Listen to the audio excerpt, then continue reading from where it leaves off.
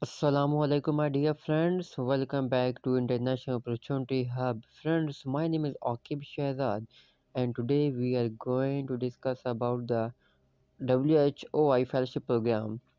The application for summer 2024 is now open. The deadline to apply for this program is 5th February 2024 the summer student fellowship are awarded to undergraduate students who will have completed their junior year at college or university by the start of their fellowship period. Students who will graduate before the fellowship begins are not eligible to apply. The applicant may be studying in any of the field of science or engineering, including but not limited to biology, chemistry, engineering, geology, geophysics, mathematics, meteorology, physics, oceanography, and marine policy. So the students must have at least a tentative interest in the ocean sciences, oceanographic engineering, or marine policy.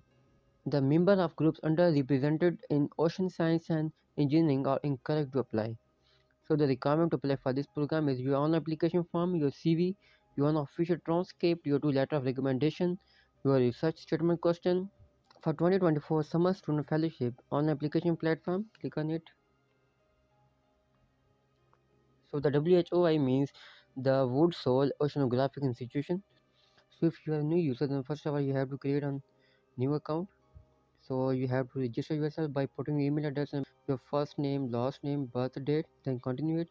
So as i already registered myself so i am going to log in my account. So for this i have to put my email address and my password. So friends this is my own application for this uh, woods hole oceanography institution fellowship program. So so click on start new application so create application Thank you for your interest in this summer student fellowship program at the Woods Hole Oceanographic Institution. So you can check your program eligibility criteria. Then go to continue. So friends, after reading all the instructions, then you have to complete your personal background information, then your academic history, your WHOI questionnaire, your research statement, your CV, your recommendations, then signature, then after that review your application form, then submit your application form. So friends, this is the whole procedure. Hope so you understand that how you can apply for this summer fellowship program in usa so in personal background information you have to complete your name information your address information email address your gender your ethnicity then continue it then complete your all other steps.